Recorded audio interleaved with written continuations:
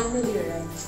Remember, before doing the food tour of India, we had soaked our fruits in a video about making the Christmas cake part 1 and now here is the continuity of the second part. So how did you like the food tour of India?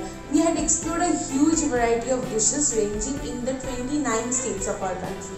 And now, since Christmas is knocking at the door, so we will make the second part of the video which is the continuity of the first part that is making the Christmas cake part 2. Here, we will take the fruits we have soaked earlier and then step by step we will prepare the Christmas cake. I know many of you don't take eggs or alcohol so we'll provide another separate video for making an eggless and alcohol free Christmas cake. So see the video and Merry Christmas in advance.